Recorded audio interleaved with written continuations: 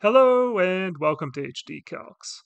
I'm Rick and in this video we're going to have a look at how we can convert between degrees and radians on the Casio FX115 ES Plus calculator.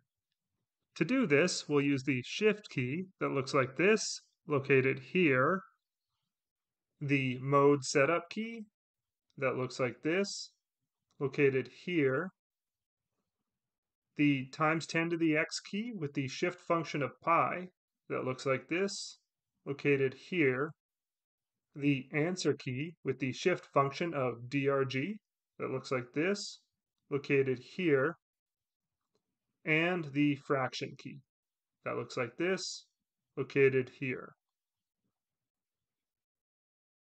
If you're given a value, like say pi over 4 in radians, and want to convert that to degrees, the first thing we have to do is set our calculator to the mode we want our results in. So if we're going from radians to degrees, we want it in degrees mode. Right now, in my calculator, you can see an R at the top of the screen there. That's letting us know my calculator is set to radians mode. So what we need to do is change this to degrees.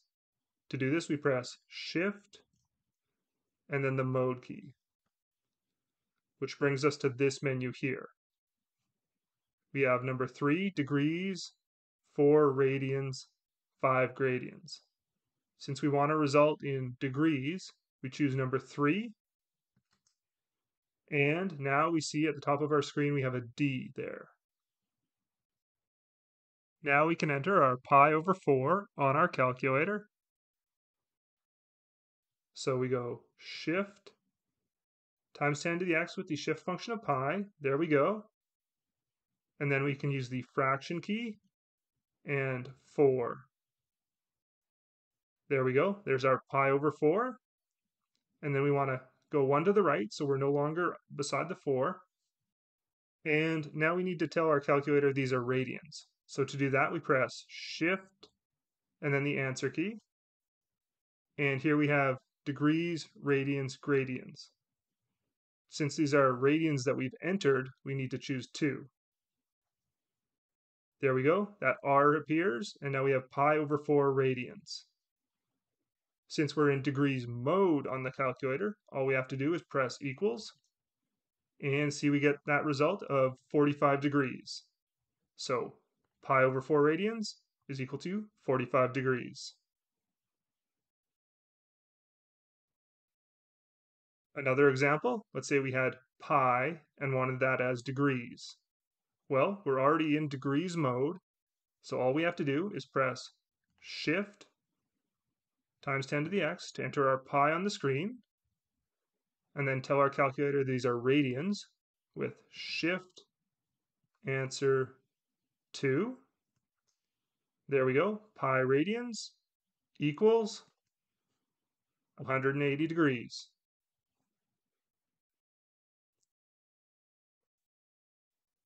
But what if we had degrees and wanted to get our result in radians? Well, again, we have to set our calculator to the mode we want our results in. So we go back to Shift, Mode key, and now we choose number 4, radians. We see the R at the top of our screen, letting us know we're in radian mode. And now we can enter our 45 degrees. So we go 45, and then we need to tell our calculator these are degrees. So we go shift, answer, drg, and choose number one for degrees. 45 degrees equals, and we see we get a result of 1 over 4 pi, which we know is the same as pi over 4. If we wanted to prove that to ourselves, what we could do is enter pi over 4 on our screen. There we go, and press equals. And see our calculator converts that to 1 over 4 pi. It's just the way this calculator likes to display these numbers.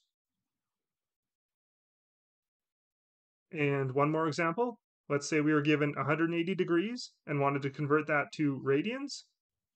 Since we're already in radians mode, we can go ahead and enter our 180 press shift the answer key with the shift function of DRG and choose number one for degrees. There we go, 180 degrees equals pi.